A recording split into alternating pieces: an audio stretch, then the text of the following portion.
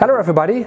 In this video I'm going to show you how to use differential optical absorption spectroscopy or DOAS technique in several applications in different markets.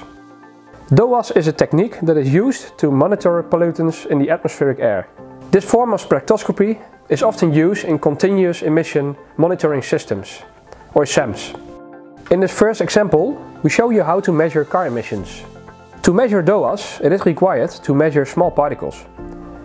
To do this, a longer path length is required, as you can see on the example image. The longer path length is needed to gather as much particles as possible. Because of the larger path length, we need to reduce low light levels and environmental light as much as possible. In this example, we use a near-infrared spectrometer with a halogen light source. The halogen light source is used with a collimating lens to create a parallel light beam. On the other side, another collimating lens focused the light into the fiber optic cable, which is connected to the spectrometer. The data from the spectrometer will be analyzed by using software.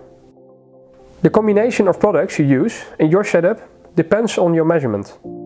The products we used in this example for measuring the car emissions are the near-infrared spectrometer, two collimating lenses and one halogen light source. The next example is focused on the industrial emission. Industrial gas emissions have contributed enormously to the air pollution globally and getting monitored continuously all over the world. By monitoring CEMS, or continuous emission monitoring systems, we use DOAS technique. These systems monitor the concentration of industrial gases and suspended particles emitted from air pollution sources. UV spectrometers are integrated to the CEMS used for calculation the absorption of sulfur oxides and nitrogen. Avantes spectrometers have high demands regarding stray light levels, optical resolution, stability and sensitivity, which makes them perfect for integration into CEMS. In the next example, I'll explain how to use DOAS technique to detect gas leaks. When a gas leak appears, it is necessary to detect this as fast as possible, even for low concentration.